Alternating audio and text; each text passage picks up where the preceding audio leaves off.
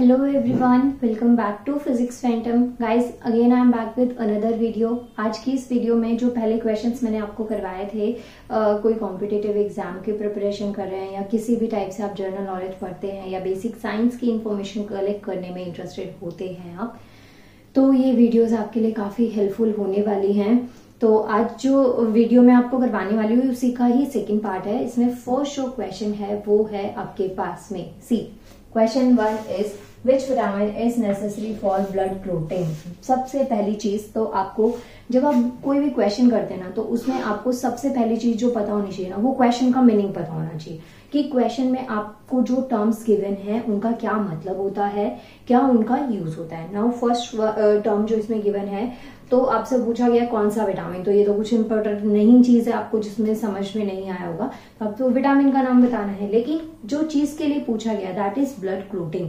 सबसे पहली चीज़ आपको पता होना चाहिए ब्लड क्लोटिंग क्या होता है। सो so, क्या होता है ब्लड क्लोटिंग जब कभी आपको थोड़ी बहुत चोट लग जाती है स्क्रैच आ जाता है बॉडी पे कहीं पे गिर जाते हैं खेलते वक्त लग जाती है किसी भी एंगल से अगर आपको थोड़ी बहुत चोट लग जाती है तो जो आपकी बॉडी का जो ब्लड है वो ऑटोमेटिकली क्लॉट होना स्टार्ट कर देता है। मतलब आपकी बॉडी से ब्लड बाहर निकला उसके बाद में विदाउट ट्रीटमेंट भी ना वो ब्लड क्या होता है थोड़ा हद तक सूखने लग जाता है। उसको हम कहते हैं ब्लड का क्लोट होना। ये क्यों इंपॉर्टेंट है? अगर ब्लड क्लोटिंग नहीं होगी तो क्या होगा? जो ब्लड है ना, वो काफ़ी लेवल पे बॉडी से निकलता जाएगा स्प्रेड होता जाएगा, फैलता जाएगा। तो उससे क्या है? बॉडी के अंदर ब्लड की कमी हो जाएगी।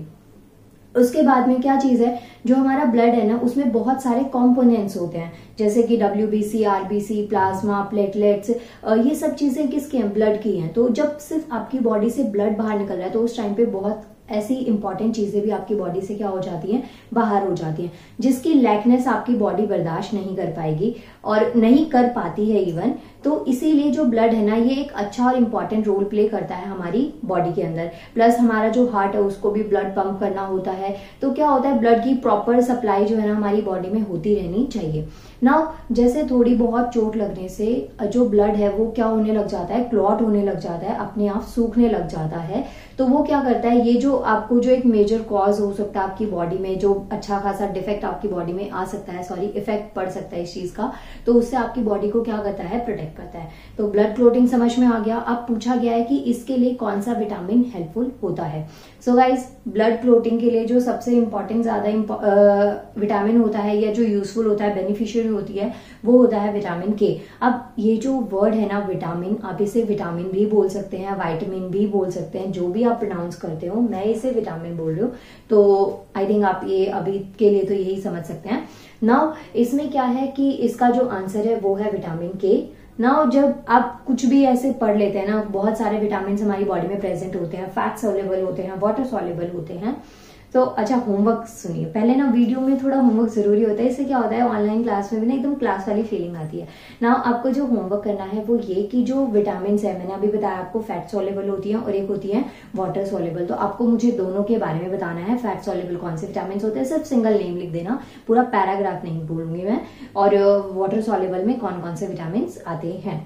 Now come to the topic vitamin K अभी मैंने आपको विटामिन बता दिया कि ब्लड क्लोटिंग में जो विटामिन हेल्पफुल होता है, वो होता है विटामिन के बट अभी आपको ये चीज़ भी पता होनी चाहिए, जो विटामिन के आपके ब्लड क्लोटिंग में हेल्पफुल है, उसमें क्या क्या उस किस किस सोर्स से या उसका क्या क्या फ़ूड सोर्स है जो आप ले तो आपकी बॉडी में विटामिन के की कमी नहीं होगी।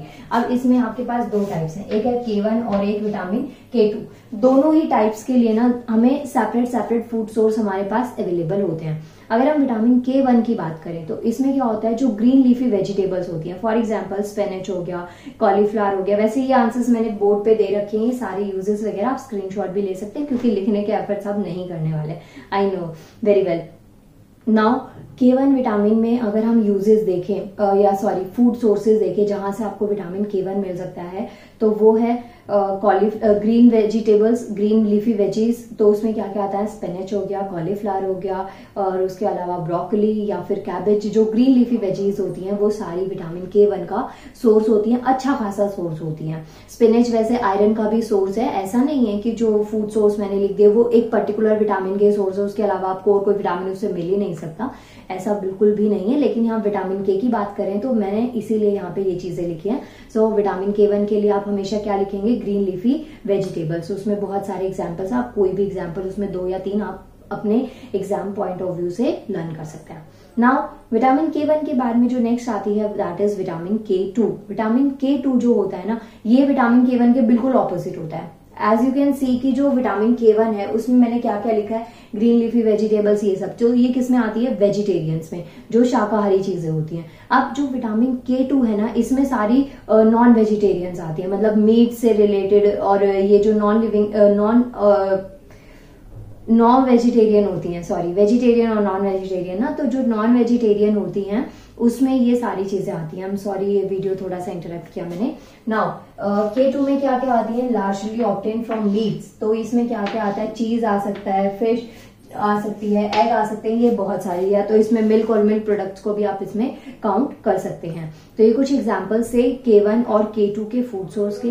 गाइज़ ये जो क्वेश्चन है ना, ये बहुत तरीके से आपके एग्ज़ाम के लिए इंपॉर्टेंट है। सबसे पहली चीज़ तो आपको एक विटामिन का नाम बताया गया है, जो ब्लड क्लोटिंग में क्या होता है? हेल्पफुल होता है। सेकेंड वन जो चीज़ आपको बताई गई है, वो ये बताई गई है कि जो विटामिन के है ना, उसके फ़ूड सोर्सेज क्या है? अब उसमें भी दो टाइप्स हैं। एक हो गया के वन जो कि जो वेजिटेरियन चीज़ें होती है, शाकाहारी चीज़ें होती है ग्रीन वेजीज वगैरह, इस पर डिपेंड करता है। एंड सेकेंड वाले से विटामिन के तो टू जो कि मीट ऐसी चीज़ों के ऊपर डिपेंड करता है, जो कि नॉन एगिटेरियन हो गया नॉन वेजिटेरियन चीज़ें हो गई। क्लियर हो गई ये चीज़ें? इसके बाद में जो नेक्स्ट क्वेश्चन आता है वो है ब्लीचिंग पाउडर ब्लीचिंग पाउडर को हिंदी में कहते हैं विरंजक चूर्ण इसका आपको केमिकल नेम बताना है. इसे प्रीवियस वीडियो में मैंने जो इसका फोर्स पार्ट करवाया था उसमें मैंने आपको आ, आ, किसका बताया था? ब्लीचिंग पाउडर का. सॉरी ये ब्लीचिंग पाउडर का है और उसमें मैंने आपको बेकिंग पाउडर के बारे में बताया था. सॉरी मैं थोड़ा भूल गई थी. जो बेकिंग पाउडर के बारे में बताया था उसमें भी आपको केमिकल नेम प्लस उसका कंपाउंड कैसे लिखते हैं और एलिमेंट्स की फॉर्म में कैसे लिखते हैं यूजेस क्या होते हैं ये सारी चीज़ें बताई थी। सेम चीज़ आज हम इस क्वेश्चन के साथ करेंगे।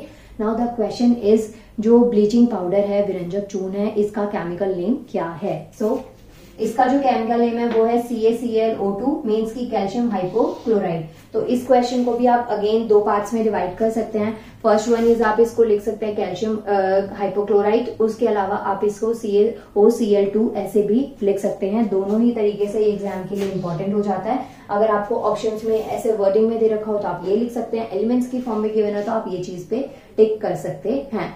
नाउ इसके बाद में नेक्स्ट जो पॉइंट आता है, वो आते हैं यूजेज जो ब्लीचिंग पाउडर मैंने यहाँ पे बोला, विरंजक चून इसके क्या क्या यूजेस होते हैं।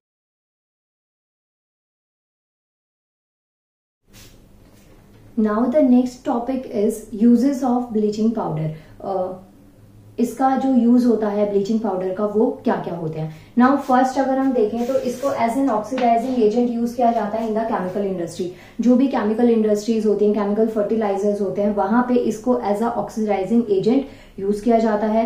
इसके अलावा जो इसका सेकेंड यूज़ है, वो ब्लीच करने में, जैसे कि लॉन्ड्री में आप देखते हैं, जो कपड़े आप ड्राई क्लीन के लिए देते हैं लॉन्ड्री पर्पज से देते हैं तो वहाँ पे जो कपड़ों को ब्लीच किया जाता है, उसमें भी इसका यूज़ किया जाता है। उसके अलावा जो नेक्स्ट यूज़ है वो किसमें किया जाता है? जो क्लोथ्स का, ये मैंने आपको बता दिया, इसके अलावा डिस इन्फेक्शन जो होता है ड्रिंकिंग वाटर का या वाटर प्योरिफिकेशन में भी इसका यूज़ किया जाता है। इसके बाद में जो लास्ट यूज़ है, विरंजक चूर्ण का ब्लीचिंग पाउडर का दैट इज़ की जो वुड पल्प होता है, जैसे कि जहाँ जो पेपर इंडस्ट्रीज़ होती हैं, जहाँ पे वुड का, लकड़ी का जो पल्प बनाया जाता है पेपर्स की मैन्युफैक्चरिंग के लिए, उसको ब्लीच करने में भी हम किसका यूज़ करते हैं? विरंजक चूर्ण का। तो ये मैंने कुछ यूजेस भी आपको बता दिए प्लस साइंटिफिक केमिकल नेम आपको बता दिया एलिमेंट्स की फॉर्म में कैसे आप लिखेंगे, और विटामिन के भी बता दिया तो ये सारी चीज़ें अगर आपको अच्छी लगी हो, और आपको ये वीडियो इन्फॉर्मेटिव लगी हो तो प्लीज़ वीडियो को लाइक करिएगा और अगर आप चैनल पे नए हैं तो प्लीज़ इट्स अ रिक्वेस्ट कि प्लीज़ चैनल को सब्सक्राइब भी करिएगा। और वीडियोस को जितना ज़्यादा से ज़्यादा आप किसी, अपने ग्रुप में कॉलेज के स्कूल के, जिस भी ग्रुप में आप शेयर कर सकते हैं प्लीज़ वीडियो को शेयर करिएगा अपने फ्रेंड्स के साथ। And thank you so much now मिलते हैं नेक्स्ट वीडियो में। जब तक आप ये जो वीडियोज़ मैंने ऑलरेडी अपलोड कर दिए, उनके बारे में या उनको देख के पढ़ते रहिए नोट्स को प्रिपेयर करते रहिए। और एक पर्टिकुलर एग्ज़ाम को टारगेट करके उसकी प्रिपरेशन में एकदम शिद्दत से लग जाइए। नाउ मिलते हैं नेक्स्ट वीडियो में थैंक यू सो मच